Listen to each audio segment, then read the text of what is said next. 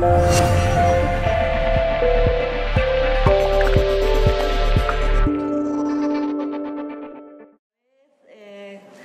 a dar paso a la tercera ponencia de esta noche, en el día de la inauguración, y tenemos al compañero José Luis Hermida. Él es catedrático en Filología Moderna, además posee el primer ciclo en Psicología, tiene una amplia experiencia en dirección, guionización y colaboración en programas de radio y televisión es conferenciante, ponente, director y colaborador de congresos y multitud de publicaciones sobre temas relacionados con el misterio. Además, escribe artículos en prensa escrita eh, dentro de las revistas especializadas del sector. Es colaborador y participante del programa Cuarto Milenio desde el año 2007 hasta la actualidad y participa en programa en programas internacionales en países como Colombia y México. Y esta noche en su ponencia nos va a hablar de las fuerzas ocultas de nuestra mente. Muchas gracias.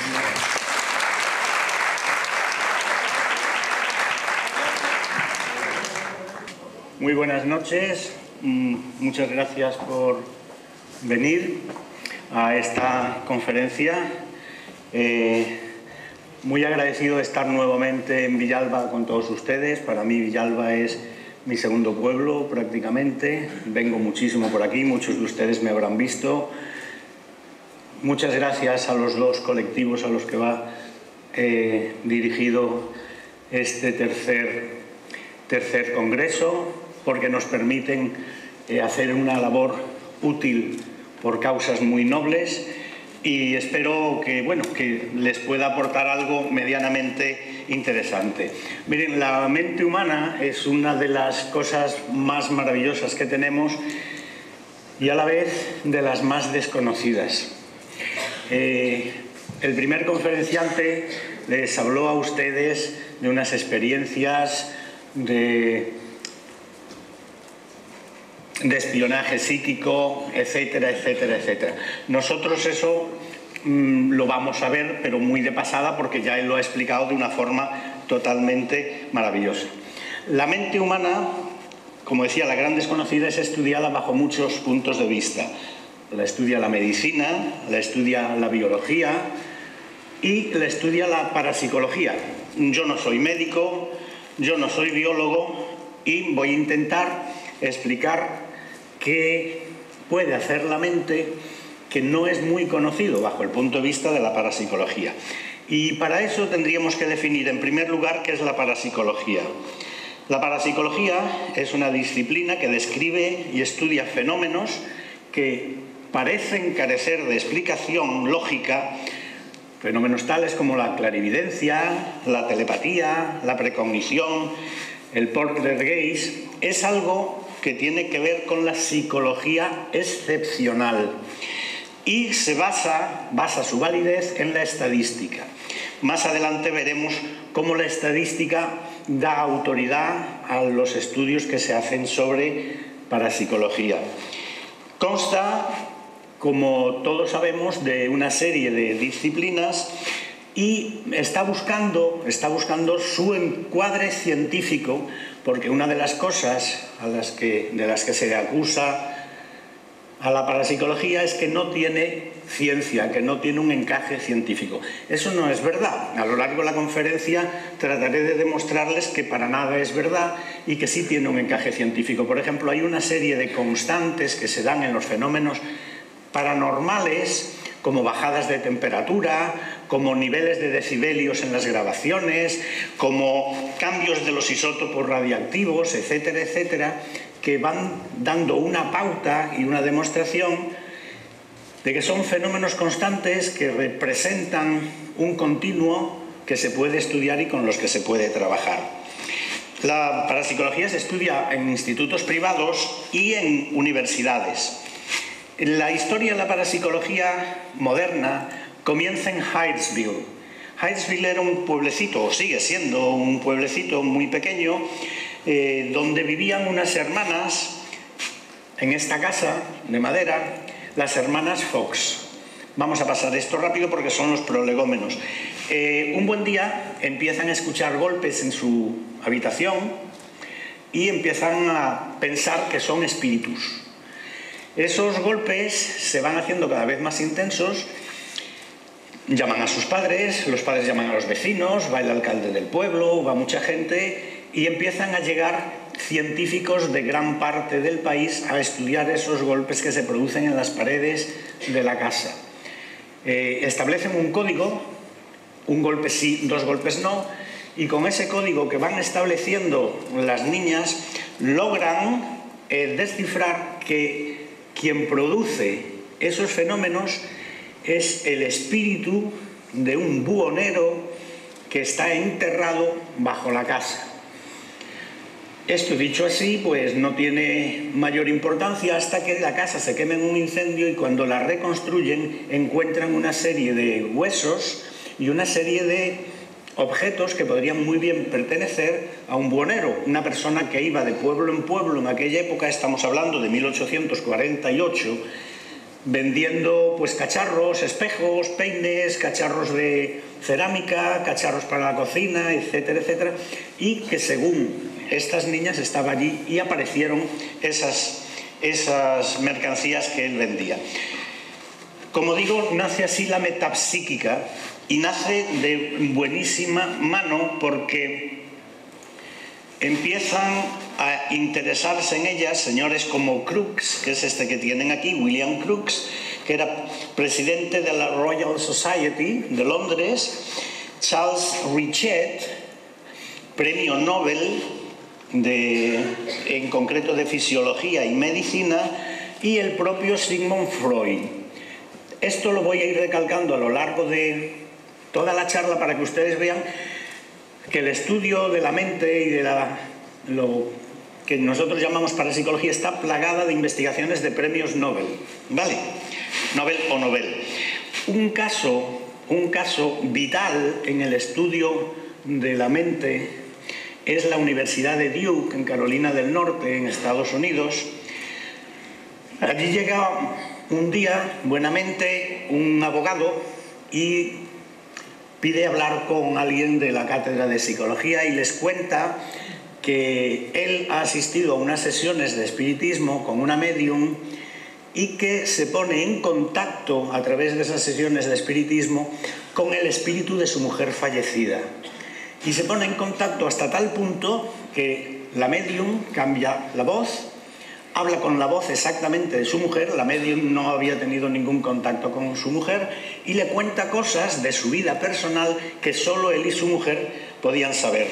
Entonces él se va a esta universidad, a la Universidad de Duke, y contacta con Ryan, que era uno de los investigadores del Departamento de Psicología de la Universidad de, Duke, en Carolina del Norte. Duke que tenía una mente muy abierta, dice, vale, yo le voy a acompañar a usted a esas sesiones de espiritismo. Tenía una, una preparación científica y yo quiero ver qué es lo que pasa. Comprueba que efectivamente, delante de él, la medium transforma su voz y empieza a hablar con una voz que el abogado identificaba como la voz de su mujer.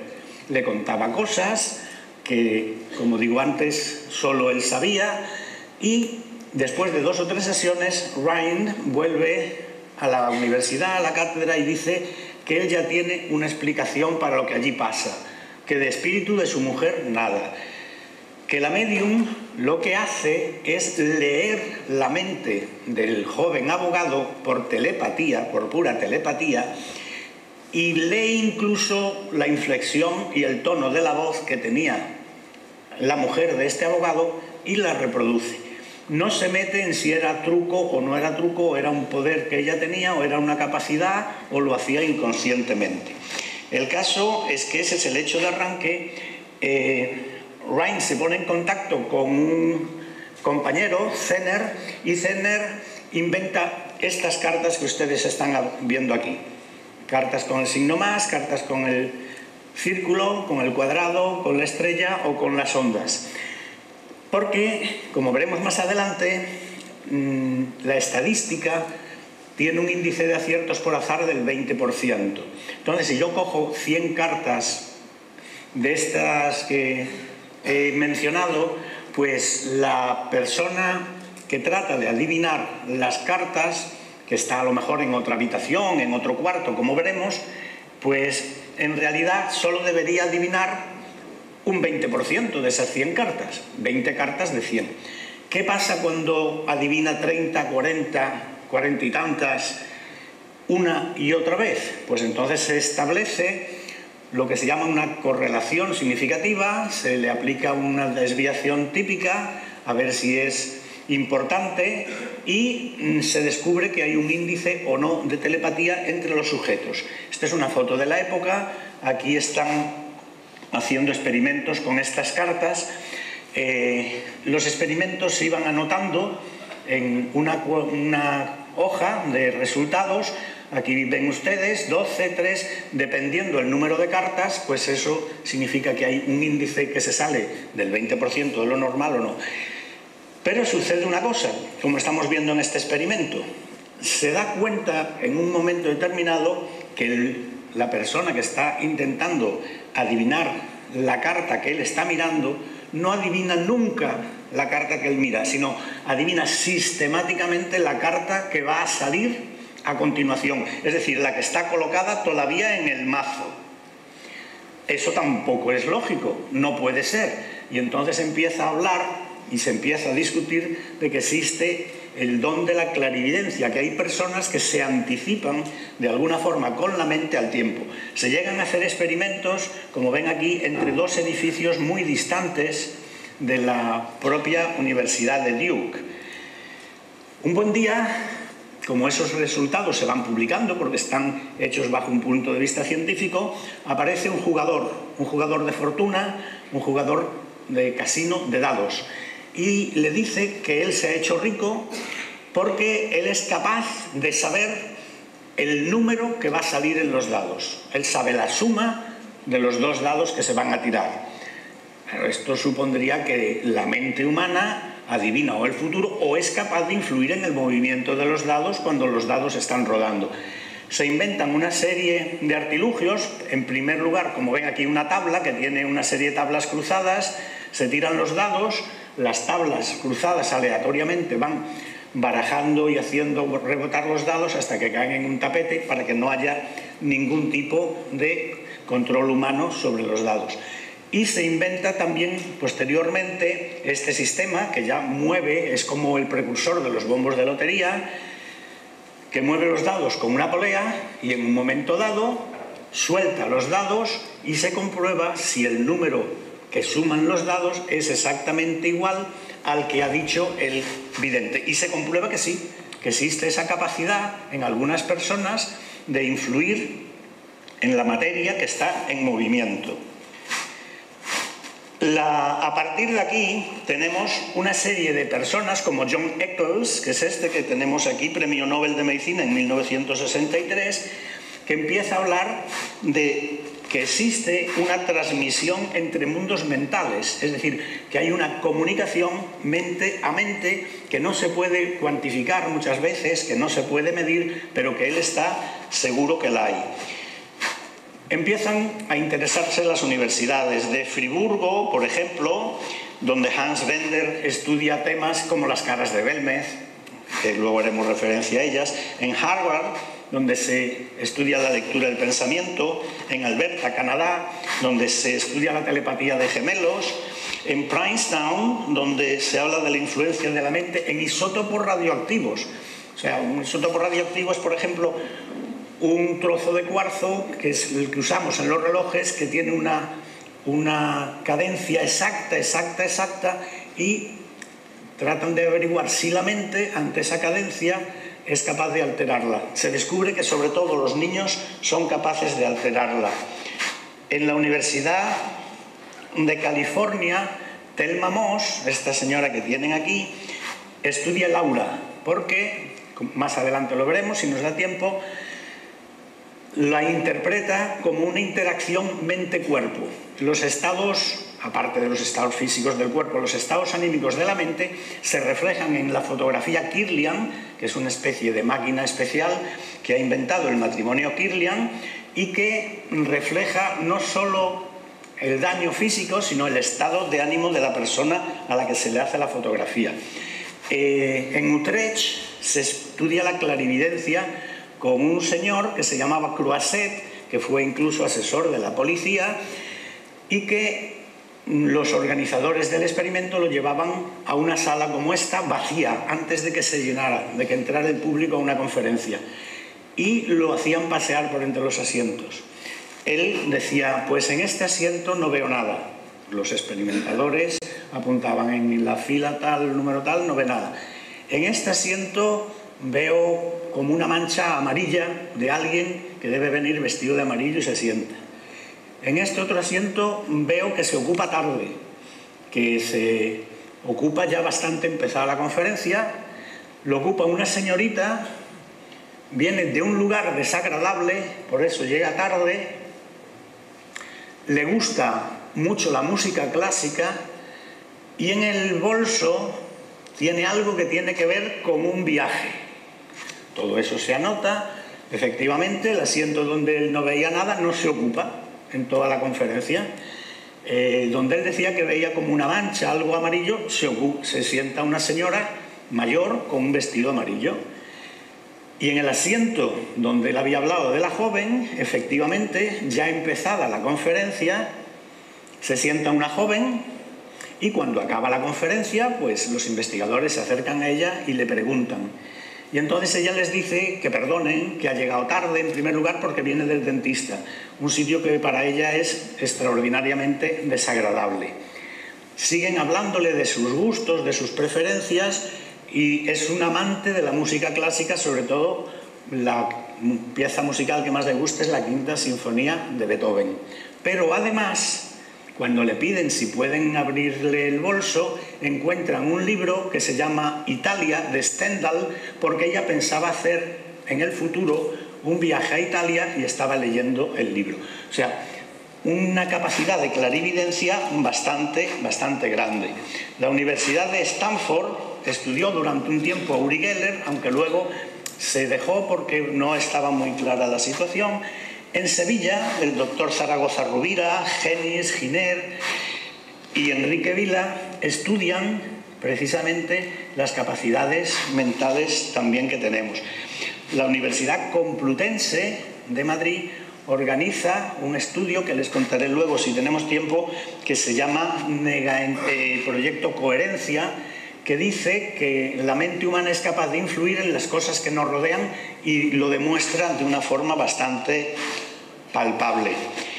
Eh, los ministerios y oficinas de defensa británicos, las líneas aéreas de Estados Unidos, la Oficina de Evaluación Tecnológica del Congreso de Estados Unidos, la DIA, la CIA y la NASA, por ejemplo, a través de, de Mitchell, lo hemos visto antes, eh, hicieron experimentos de telepatía en el vuelo del Apolo 14. Einstein prologa un libro de, eh, que se llama Mental Radio de Upton Sinclair, donde habla de esas capacidades que tiene la mente humana. El premio Nobel de Medicina eh, Albert von St. Georgi dice que los cambios emocionales, emocionales generan una energía subatómica que llegará a ser medible. Premio Nobel. ¿eh? Feynman, que es el que ven a continuación, pues decía una cosa, fue premio Nobel de Física en 1965, porque 15 años antes de que se pudiera constatar, ya había descrito unas partículas que retroceden en el tiempo, los taquiones. Y él decía, ¿cómo voy a hablar de partículas que son hijas de otras que aún no han nacido sin que piensen que soy tonto. Partículas que son hijas de otras que aún no han nacido sin que piensen que soy tonto. Todo esto es interesante, ¿verdad? Pues todo eso, la culpa, en gran parte la tienen las neuronas espejo. Las neuronas espejo son un grupo de neuronas que los neurocientíficos de la Universidad de California a las que los científicos atribuyen una capacidad de percibir actividades de otras personas y también de la intención que los motiva. Es decir, leen el pensamiento y las emociones de las personas. Eh, algo hecho. Estas son es una foto de neuronas espejo.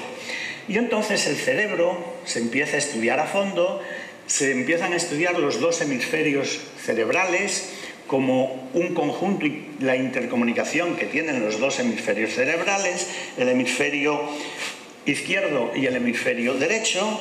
El hemisferio izquierdo es el que rige todo lo verbal, lo analítico, lo abstracto, lo racional y lo digital.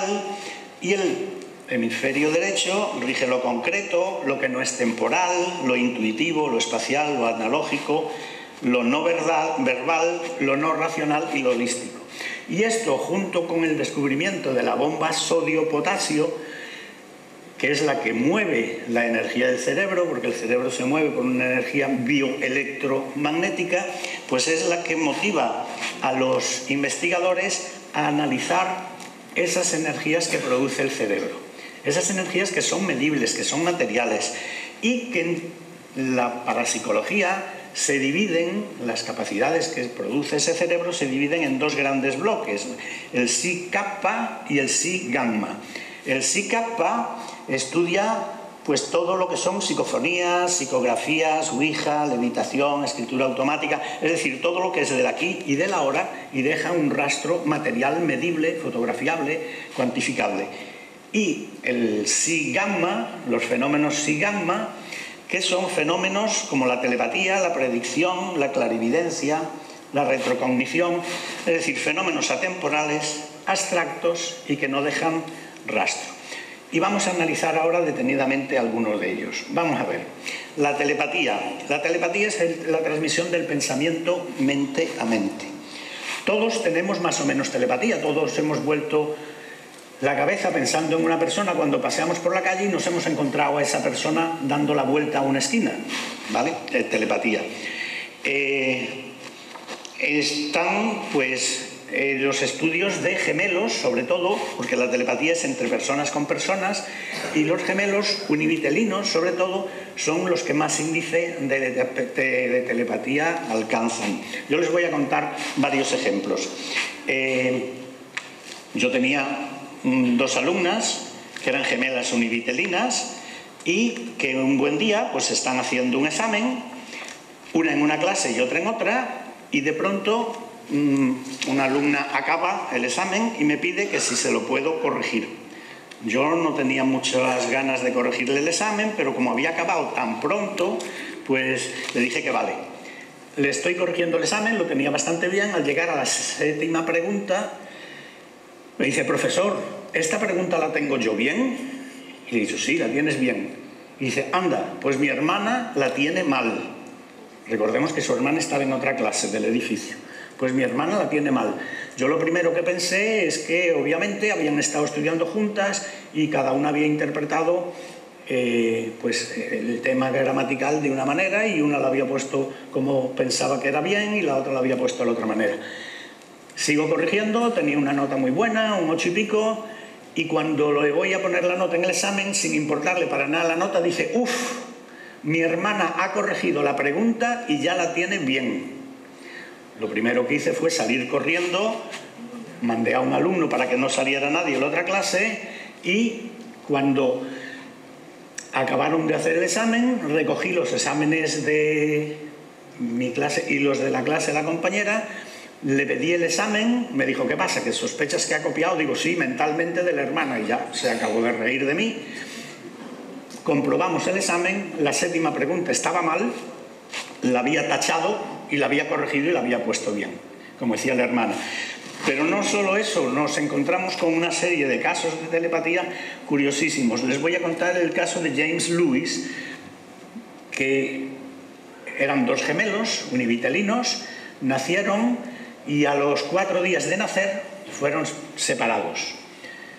Una serie de problemas y entonces unas personas se llevaron a uno y otras personas se llevaron a otro y decidieron no comentarle al uno y al otro de la existencia del hermano porque eran tiempos muy difíciles y a lo mejor era tal la distancia que no se iban a volver a encontrar. Bueno, las concomitancias entre estos dos hombres son tremendas porque los gemelos univitelinos se transmiten mentalmente. Los dos, su familia adoptiva, recibieron el nombre, por, por parte de su familia adoptiva, recibieron el nombre, el nombre de James. Sus vidas se desarrollaron totalmente en paralelo. Eh, crecieron con un hermano adoptado, cada uno de ellos que se llamaba Larry, cada uno de ellos sin tener contacto de ningún tipo. Eh, trabajaron primero en McDonald's, cada uno por su cuenta. Luego trabajaron como dependientes de una gasolinera. Después se presentaron a las pruebas de policía y los dos se convirtieron en sheriffs. Eh, ambos se casaron por primera vez con una mujer que se llamaba Linda y tuvieron dos hijos cada uno, dos hijos de una mujer, las dos se llamaban Linda. Se divorciaron y se volvieron a casar de nuevo. Y también la segunda mujer se llamaba Betty en los dos casos. Esto es historia, eso se puede ver en los análisis. En los análisis. Se llamaba Betty en los dos casos. Ambos fumaban la misma marca de cigarrillos Fumaban mucho, hasta dos y dos y pico paquetes al día los dos. Los dos el mismo mes tuvieron dos ataques al corazón debido a la, cantidad de cigarros que fumaban. Salieron de esos trances y cuando uno de ellos decide, se da cuenta por una serie de datos que tiene un hermano gemelo y decide buscarlo, se encuentran que su vida había sido paralela, se cuentan todo esto y ambos veraneaban en la misma playa desde hacía un montón de años y jamás se habían encontrado. O sea, una concomitancia y una, una conexión paralela total. Ustedes se acuerdan de un anuncio que había en televisión de dos gemelos, un gemelo se metía en el agua, y en el mar, y el otro gemelo que estaba en un laboratorio pues sentía el frío del hermano, y cada cosa que iba sintiendo un gemelo lo iba sintiendo el otro, hasta que uno se casa y cuando está con la mujer, cuando van a celebrar la noche bodas, se da cuenta que su hermano está sintiendo y se está dando cuenta de todo. Entonces coge un coche con la pareja, con la novia, coge un coche y se va a lo más profundo de un monte entre rocas y dice, donde te lleva un Mitsubishi Montero no te lleva nadie. Es decir, ni siquiera tu gemelo va a saber dónde tú estás. O sea, esto está totalmente asumido. Pero no solo la telepatía es entre personas. Telepatía es también entre personas y animales. Eh, el cazador y el perro. Eh, aquí está un cazador, imagínense, aquí un cazador, mirando esa pantalla y nosotros le estamos poniendo una serie de eh, películas cinegéticas y le decimos que cuando vea una perdiz que levante el vuelo, dispare, dispare materialmente, físicamente, dispare. Claro, no tenía postas el cartucho, solo pólvora, que dispare a la pantalla. Y el perro está pues en la palma del condado. Pues el perro del cazador, en el momento que el cazador dispara para cobrar pieza, sale corriendo a buscar la pieza en la palma del condado, porque lee la mente del cazador de que de alguna forma espera que él vaya a recobrar esa pieza que, que ha, ha batido. Mm, todos sabemos que hay perros que a lo mejor nos lo regala una familia del extranjero, nos lo deja a nuestro cuidado y el perro no entiende idiomas, no le ha dado tiempo de estudiar idiomas, pero las órdenes que les damos las obedecen. ¿Por qué? Si no es a través de una captación de telepatía. O perros que se anticipan a hacer cosas antes de que se las mande el amo. O sea, en realidad esos casos se han comprobado en muchísimos casos. Este es otro caso curiosísimo de telepatía entre personas y plantas. Este señor es Cliff Baxter, que era un agente de la CIA, preparaba, preparaba a aspirantes a entrar en la CIA y es el inventor del detector de mentiras. Y entonces, mientras él esperaba a, unas, a seis alumnos que tenían que venir para explicarles lo que era el detector de mentiras, se le ocurrió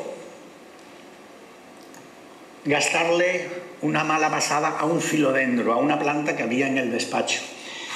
¿Qué es lo que le hizo? Pues tomó la intención de conectarle el detector de mentiras y ir a buscar una cerilla para quemar una de las hojas. Estaba monitorizando la respuesta del filodendro y esta es la respuesta que le dio.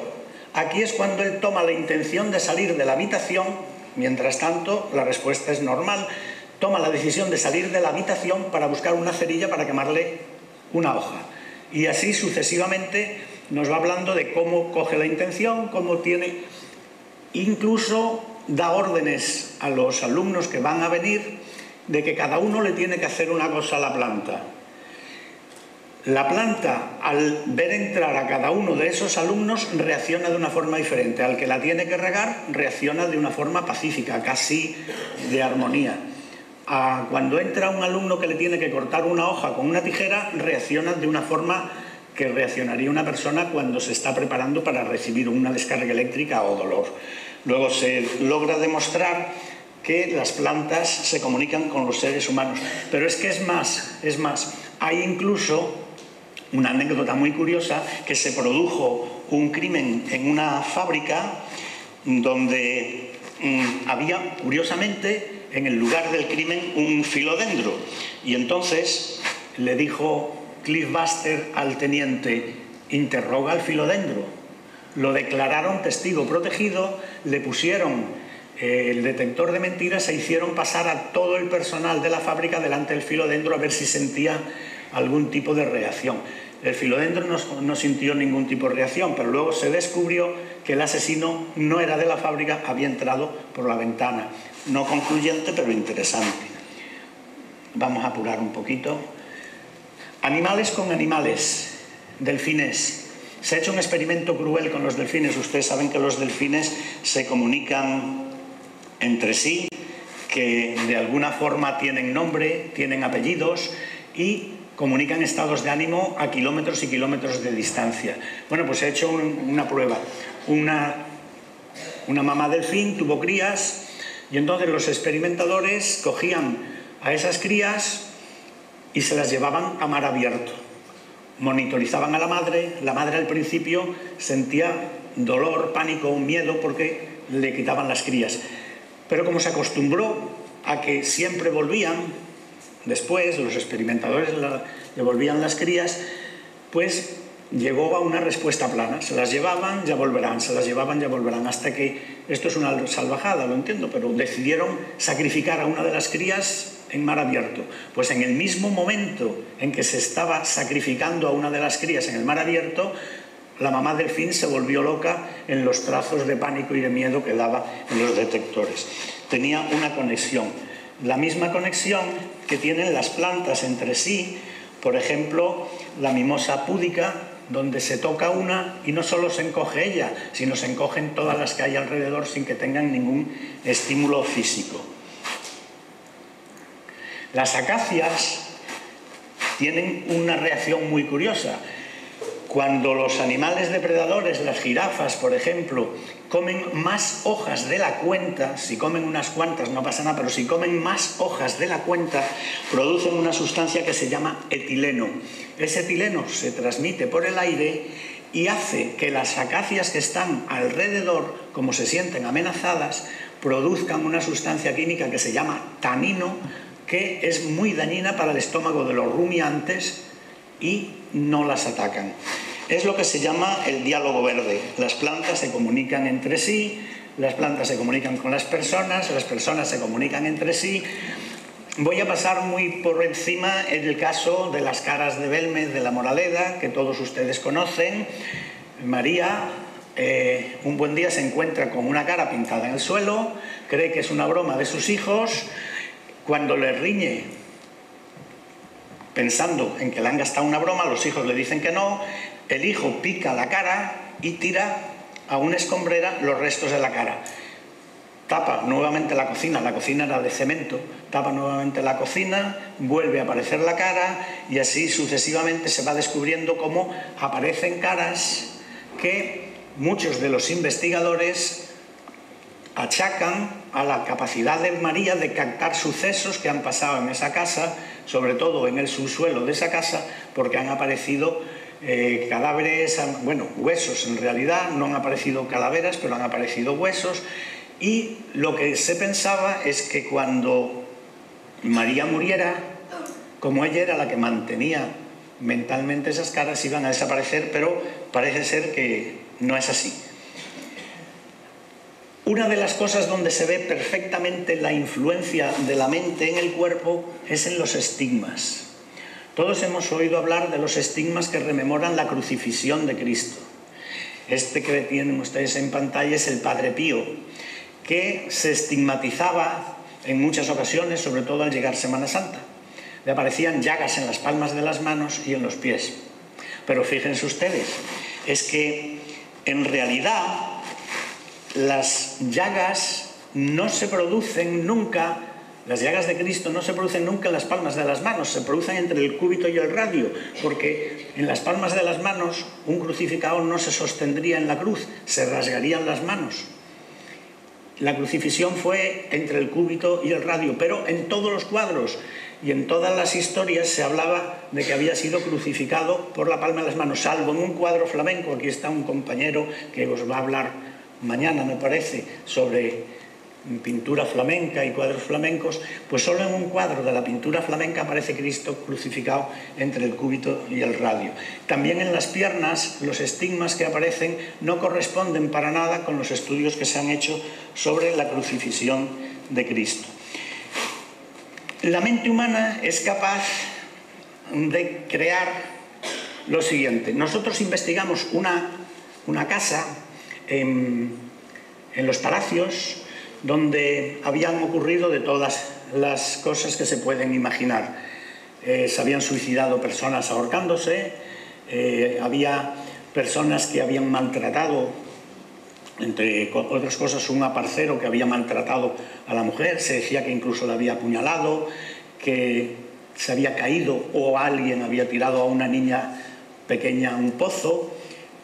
La, la parcela todavía está allí, la finca todavía está allí, y nosotros nos enteramos que había un grupo de chavales y chavalas que habían entrado en esa parcela sin saber que esa casa pasaba ni que tenía ningún problema. En realidad, en el pueblo era muy conocida, pero ellos eran de Sevilla. Era tan conocida en el pueblo que la gente iba de excursión a esa casa a hacerse fotos. Incluso recién casados se iban a hacer fotos porque la sala de columnas es muy bonita.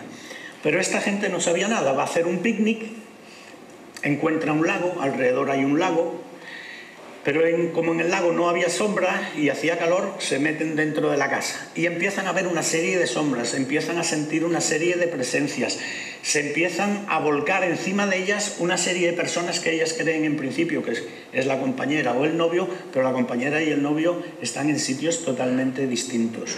Ven sombras que entran por las paredes y ven incluso personas vestidas, que confunden con personas reales vestidas, que atraviesan un hueco que solo lleva a una torre donde se suicidó el último de las personas que se suicidaron. Nosotros comprobamos todo esto, hablamos con la policía local, la policía local nos confirmó plenamente que allí se habían suicidado personas, incluso un policía dice, mirad cómo tengo los brazos, tenía los pelos de punta porque dice, yo he sido el que he descolgado al último de los que allí se suicidaron.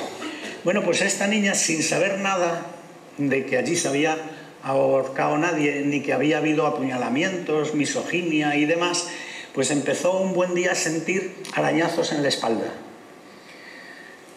No sabía qué atribuirlo, se fue a su casa, a nosotros nos contaron que habían visto esas sombras, que habían sentido eso, y vino a hacer una investigación con nosotros y de pronto empieza a quejarse de la espalda cuando estaba en una de las estancias de la casa, no estábamos nadie en contacto con ella para nada y se le empiezan a notar cuatro dedos que van arañando la piel progresivamente hasta crearle pues esto que ustedes están viendo, unos rasgos totalmente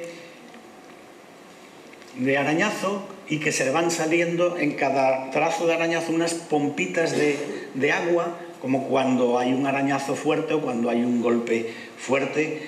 Y le pasó tres veces. Una de las veces en presencia de las cámaras de televisión, otras veces en presencia de las cámaras nuestras, pero una vez en presencia de las cámaras de televisión de Cuarto Milenio, que fueron a investigar el caso, porque nosotros le contamos que nos parecía un caso muy extraño, fue un psicólogo de la Complutense de la Universidad de Madrid, fueron dos médicos de Barcelona, estuvieron estudiando el caso le pusieron a la niña unos cascos que medían, unos controladores que medían la actividad cerebral y cuando ya íbamos a recoger, de pronto, era un frío enorme el que hacía, empieza a quejarse la espalda, se levanta la blusa y vemos, vemos cómo se van formando poco a poco esos arañazos, sin mano obviamente, pero cómo se van formando poco a poco delante de todos los testigos que estábamos allí. Otro caso muy interesante de la capacidad que tiene el ser humano de crear es el caso de los tulpas, de las presencias, de la nada. Los monjes tibetanos tienen un ejercicio cuando llegan a unos niveles de conocimiento que es encerrarse en un pozo, meterse en un pozo profundo, estar dos o tres días ayunando en ese pozo, concentrándose mentalmente y entonces son capaces de formar una imagen con el poder de su mente en el brocal del pozo, en la boca del pozo. Una imagen visible por observadores neutrales. Bueno, este, este señor es Carlos Magariños.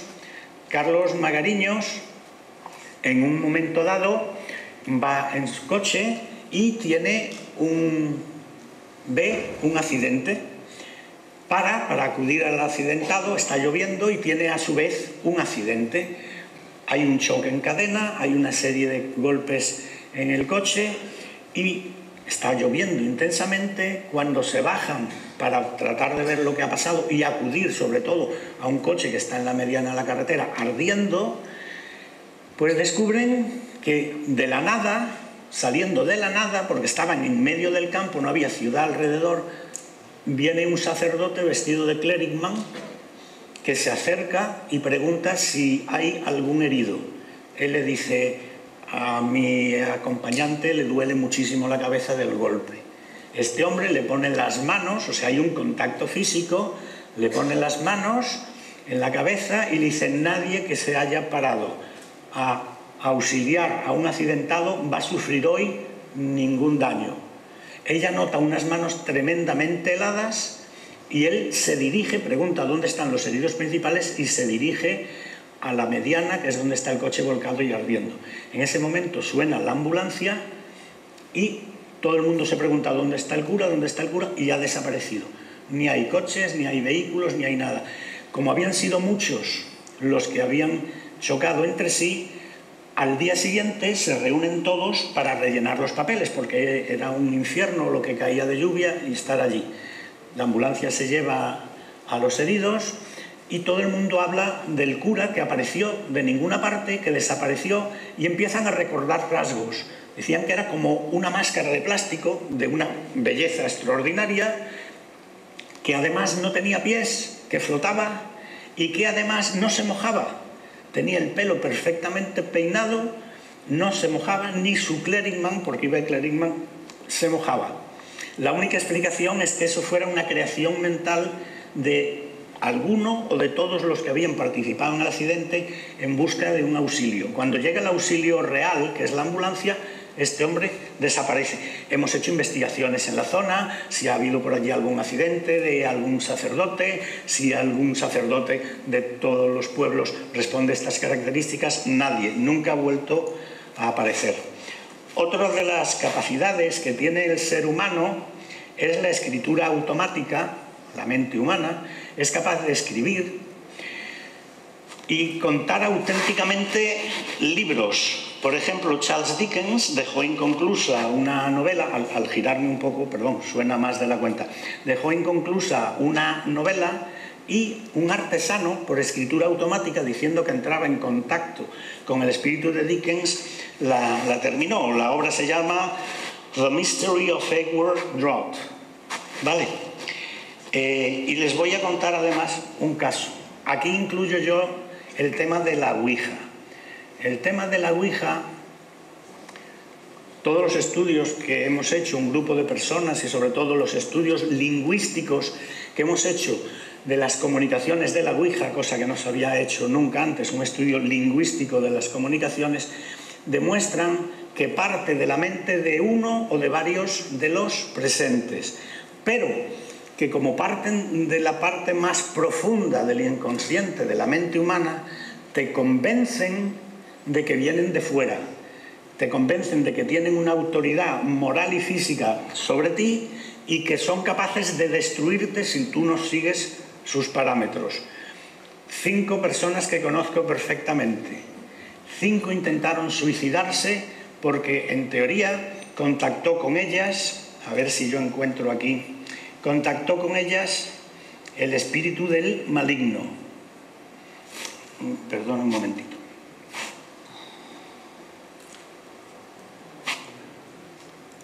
A ver si sale. Aquí está. Recuerdo que todo comenzó como un juego, que terminaría por engancharnos irremisiblemente. No había día que no improvisáramos un tablero Ouija y eso nos llevó a algunos de nosotros al borde de la muerte. ¿Qué son palabras directamente? De una de las chicas que participaban en esta sesión de Ouija que se repetía pues unas veces en casa de una, otras veces en casa de otra, y que en un principio comenzó como algo totalmente inocente, como tantos niños, como un juego, y por lo visto sigue intentando comunicarse y le propone, ¿y si en este mismo momento yo me suicido? Todo queda terminado y aquello le dice que sí.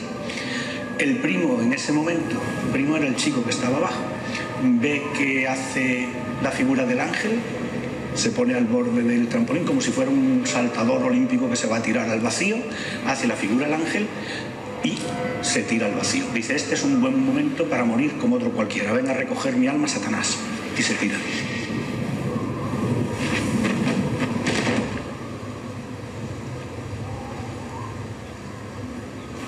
Es como una especie de reliquia, es como el mecanismo por el que el maligno se ha valido para salvarla. Y a partir de ese momento, pues se produce un extraño y tétrico peregrinaje a esa zona por la noche a invocar al espíritu del maligno que había protegido a esa niña de... Bueno, eh, pintura psíquica, Gaspareto, un medium que es capaz de solo con las manos, haciendo manchones de pintura en un cuadro, representar cuadros que expertos en arte atribuyen a escuela de pintores conocidos y famosos. Vamos rápido. A ver, eh, la proyección de la mente puede ser en el espacio. Hay el caso de una maestra de Riga que estaba dando clase y los alumnos veían como de pronto se desdoblaba en la pizarra.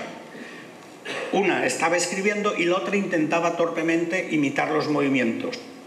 La veían también paseando en el jardín. Eh, la salida en astral, hemos hablado antes, no la voy a mencionar ahora para avanzar un poco más. Un fenómeno muy curioso es el fenómeno Bardor. Es un fenómeno así llamado por un país, por, un lenguaje, una palabra de uno de los países nórdicos, que la mente humana dice que la mente humana es capaz de proyectar a una persona a distancia, la presencia de una persona a distancia y, por ejemplo, pues la familia va a entrar a la madre o al padre en casa, colgar las llaves como él hace del llavero, soltar el bolso pero resulta que no ha llegado. Bajan abajo a verlo y no ha llegado. Incluso lo ven entrar de una habitación a otra y llega diez minutos después, un cuarto de hora después. Es como si nuestra mente mandara un aviso de nuestra presencia. Eh, se proyectan en el espacio y en el tiempo. Nostradamus era capaz de profetizar que el jovencito fraile que iba por el camino iba a ser el futuro Papa Sisto VI, perdón, Sisto V, y se baja de la caballería en la que Nostradamus va montado, besa la mano y la sotana, y cuando los otros frailes extrañados le dicen, ¿por qué a él sí y a nosotros no? Dice, porque es bueno que rinda pleitesía al futuro Papa. Ese Papa fue el Papa Sisto V.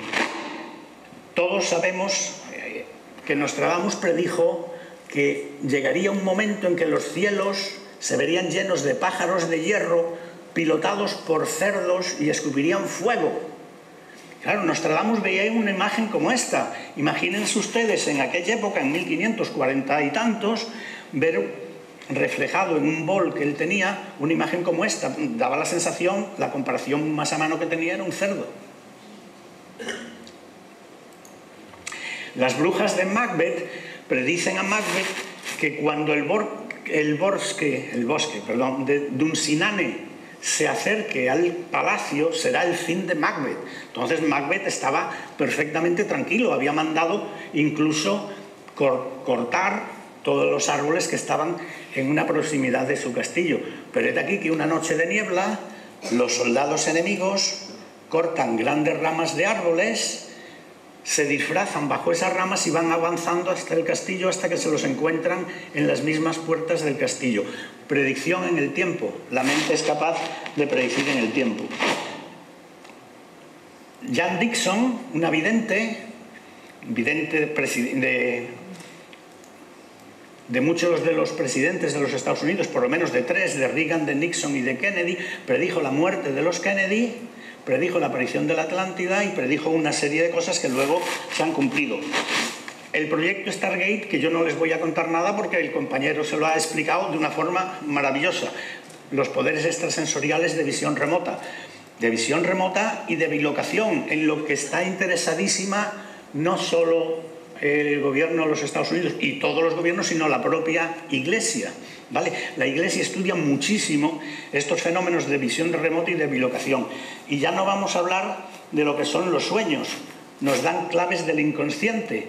Singer inventó la máquina de coser gracias a un sueño. Él había inventado la máquina de coser, la máquina de coser no cosía. Hasta que un buen día soñó que salía de un castillo un caballero medieval con una lanza y se dirigía a él. Y cuando lo iba a pinchar con la lanza se da cuenta que lo que lleva en las manos es una aguja y que el ojal de la aguja está delante. La máquina de coser cose porque el ojal de la aguja está delante, no detrás. Ahí tienen que Culé, el padre de la, de la química orgánica, estaba intentando hacer la fórmula del benceno, pero no le salía, no le encajaban todas las valencias, hasta que un buen día sueña con una serpiente que va delante de él y se muerde la cola. Fíjense ustedes cómo es la química. La química orgánica no es lineal, sino se encierra sobre sí misma. Son sueños premonitorios, regresiones a vidas pasadas. Podría contarles, si tuviera tiempo, estudios que hemos hecho, incluso regresando a personas que nos cuentan hechos de sus vidas pasadas, que probablemente, ojo, que probablemente no existen esas vidas, sino son recuerdos que están instaurados en su inconsciente desde su más tierna infancia o que han recibido a través de carga genética de sus antepasados, que se está demostrando que es posible. No le voy a explicar esto, no le voy a explicar esto tampoco. Eh, el hombre lobo y los vampiros existen, sí existen, Hoy la medicina moderna ha demostrado que aparte de que hay vampiros psíquicos y hombres lobos eh, psíquicos que se modifican a través de los cambios de la luna, hoy se explica por una serie de elementos, por ejemplo, una deficiencia de la enzima llamada europrofinogen 3. Esa enzima lo que impide es sintetizar la hemoglobina de la sangre, entonces las personas que tienen esa carencia se ven impulsados a buscar sangre. Hoy en día eso se resuelve muy fácilmente con una inyección de hemoglobina, pero antes tendían a ir a los mataderos, la sangre de los mataderos se tiraba por unos, por unos eh, canalillos al río y bebían esa sangre en la espera, cosa que no es así porque pasaba por el estómago y la destrozaba, la mayoría de ella, en espera casi instintiva de sustituir esa carencia que tenían de hemoglobina. Lo curioso es que esta enzima, el europrofinogen 3, produce todas las características que nosotros vemos en un vampiro. La tez marrón, el rechazo a la luz, porque les duele la luz, les duele la luz en los ojos y en la piel. Eh, las, las encías se retrotraen y se hacen sanguinolientas. Eh, necesitan beber sangre eh, el ajo les hace daño porque tiene un compuesto de sulfuros, azufre, que aumenta todavía esa enfermedad que ellos tienen, los síntomas de esa enfermedad. ¿Y qué hacían normalmente estas pobres criaturas? Esconderse. ¿Dónde? En los cementerios, donde nadie los buscaba. Se escondían en los cementerios al amanecer y había gente que veía que entraban en los cementerios al amanecer o que salían de noche a buscar sangre. De ahí viene en gran parte el mito del vampiro, pero el mito del vampiro además es psíquico. Es la lucha entre el Eros y el Tánatos. Todo el mundo quisiera ser inmortal de una forma o de otra y todo el mundo quisiera de alguna manera tener ese poder del vampiro sobre el otro sexo, vampiro masculino o femenino.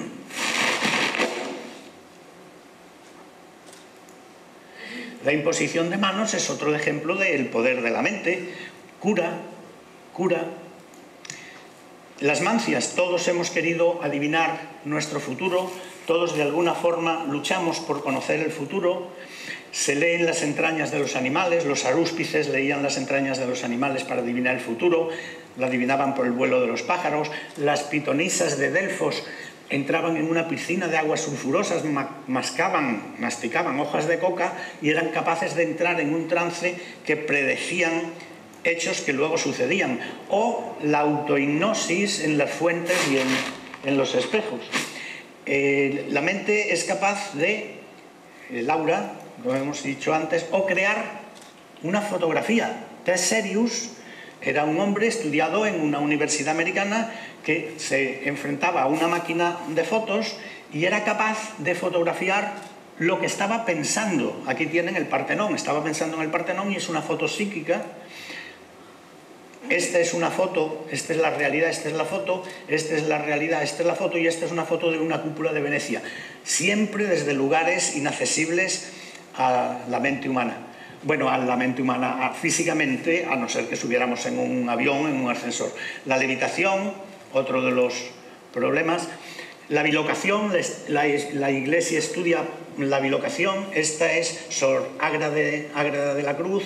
Cuando los, los conquistadores españoles llegaron a América, se encontraron que los indios los salían a recibir en una determinada zona de Texas, creo recordar, con cruces, con dibujos y con una serie de mm, mantos que no correspondían al sitio ni a la zona. Y cuando le empezaban a hablar de ciertas cosas, ellos le decían por señas que ya había estado allí una señora que les había hablado de todo eso y que les había incluso dado unas raíces y unas plantas que se plantaron y que plantaban y que crecen en, en esa zona que se llama el bonete azul.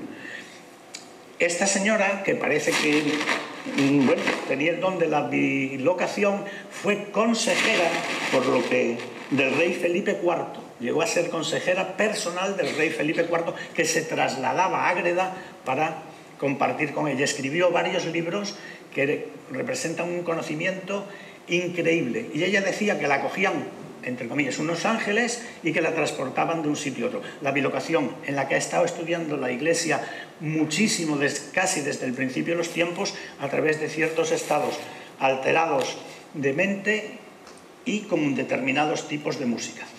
El faquirismo, una capacidad mental de vencer el dolor, los exorcismos que no dejan de ser una neurosis, un conflicto psíquico, una neurosis de conversión, se son capaces de hacer cosas increíbles, los zahoríes, que son capaces de descubrir mediante una sensibilización donde hay agua, donde hay otra cosa, y la brujería, que es capaz de volar al aquelarre en realidad es un viaje astral. Vuelan al aquelarre, sí, pero astralmente, no salen de casa, no se mueven de casa. ¿Y cómo se llega a todo esto? Pues por la meditación, por la capacidad de autoconcentración, mediante técnicas de análisis de espejos y mediante una serie de cosas. Todo esto tiene explicación, sí, y con esto acabo. Algunas de ellas tan naturales como la siguiente que hemos investigado. Todos conocemos la cerámica de Triana, ¿sí? Vale. Pues hace mucho tiempo en Triana había una ventana de un alfarero donde había un jarrón que decían que cantaba, que cantaba, que en determinados días cantaba y la gente pasaba por allí y oía ese canto del jarrón. Vale, es verdad que el jarrón cantaba de alguna manera, pero ¿por qué? Porque cuando el alfarero había estado componiendo el jarrón, mediante una rasqueta, mediante un punzón, había ido dándole forma. Y ese punzón, él estaba cantando mientras, y ese punzón servía como para transmitir los cantos que él hacía con movimientos microscópicos de su mano y se iban quedando impresos como un microsurco de los antiguos de pizarra en la loza, en el barro que él estaba imprimiendo. Cuando alcanzaba el lucoció, se asentaron esas estrías, cuando el ambiente alcanzaba un determinado nivel de humedad y hacía un poco de viento, es como si volviéramos a reproducir de alguna forma un microsurco. Otra causa natural es, por ejemplo, un empaste de muelas. Hay gente que dice, oigo ruidos en la cabeza, oigo voces en mi cabeza. Y es que un empaste de muelas de determinada composición de amalgama servía como muchos de ustedes recordarán de radio galena y era capaz de captar sonidos hasta que se descubrió que era de que captaba emisiones de una radio cercana. El Papa Silvestre II tenía poderes inventó la electricidad antes de que se conociera la electricidad, de hecho conectaba las puertas con pequeñas descargas eléctricas porque era un, gracioso y le daba descargas a los cardenales y los cardenales decían que era la gloria del Papa que impregnaba los metales de las puertas. Inventó una cabeza parlante con la que jugaba al ajedrez. Es decir, muchas de las cosas que hoy nos parecen súper extrañas son adelantos en el tiempo, otras son enfermedades psicológicas, paranoias, neurosis, eh, eh, eh, bueno, lo, diré, trastornos cinestésicos, etcétera, etcétera. Y otras son puros engaños. Con esto terminamos. Este gato que hace, sube o baja. Sube o baja las escaleras. Depende cómo lo miremos. Sube y baja. Esto es un trampantojo, todos lo conocemos, es un engaño de los sentidos. Aquí parece que la calle se ha abierto y que se ha caído un trozo hacia, hacia abajo. Esta bola, si yo se la pongo, si soy capaz de ponerla, esta bola sigue un trazo imposible. Esta bola sigue un trazo imposible, sin embargo nosotros la vemos y lo damos por bueno y lo damos por lógico.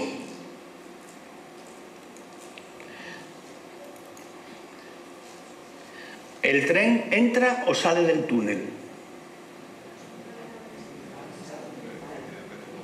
Según nosotros fijemos la vista en un sitio o en otro, entra y sale del túnel. ¿Quién podría atestiguar, por ejemplo, ante la policía, por ejemplo, ante un notario que entra o quién podría atestiguar que sale? Si lo vemos bajo un punto de vista, entra y sale. Es decir, nuestros sentidos también nos engañan. Nuestros sentidos también nos engañan. Y por último, esta foto, esta foto la hemos hecho nosotros, esta foto es lo que se llama efecto Brocken, que no es ni más ni menos que una proyección de uno mismo en nubes bajas o en niebla, pero que uno considera de pronto que es un fantasma. Nosotros estábamos en una observación en la cima de un monte, teníamos las luces de los coches encendidos, había una niebla enorme y mientras colocábamos una mesa con las máquinas de fotos y eso, vimos unos señores en el cielo que se movían y que gesticulaban. Ya están aquí los extraterrestres, ya han llegado, hemos tenido suerte esta vez. Y sin embargo nos dimos cuenta que imitaban nuestros movimientos. Éramos nosotros que la luz nos proyectaba, la luz de los coches encendidas, nos proyectaba hacia esas nubes bajas y cualquier movimiento que nosotros hacíamos se reflejaba en esas nubes. Por lo tanto, la mente es maravillosa, pero la mente también nos engaña. ¿Vale? Por último les comento una frase. Una frase de Eluard que dice, hay otros mundos, pero están en este. Hay otros seres, pero están en ti. Quiere decir que como es arriba es abajo, decía el Kibalión, no hay nada, no hay nada que no tengamos dentro de nuestra mente que esté fuera. Lo que pasa es que tenemos que saber buscarlo y saber aprovecharlo. ¿Vale? Hay un documental muy interesante en, en televisión, lo pueden ustedes buscar, que se llama Potencia de 10, que representa una chica tumbada en un parque de Nueva York, le enfocan el brazo, le van enfocando en potencia de 10, por eso se llama potencia de 10 aumentos, entra hasta en el último poro de su piel y la última célula de su piel que se puede fotografiar y de pronto se empieza a apartar en potencia de 10, aparece esa chica, aparece la mano, aparece el país, aparece el globo terráqueo, aparecen las galaxias, las más cercanas, las más lejanas y la foto del universo más lejano es exactamente igual a la foto de la célula más íntima de la mano. Como es arriba, es abajo. Potencia de 10. Muchas gracias. Perdonen que haya ido muy rápido, pero tenía muchas cosas que decir.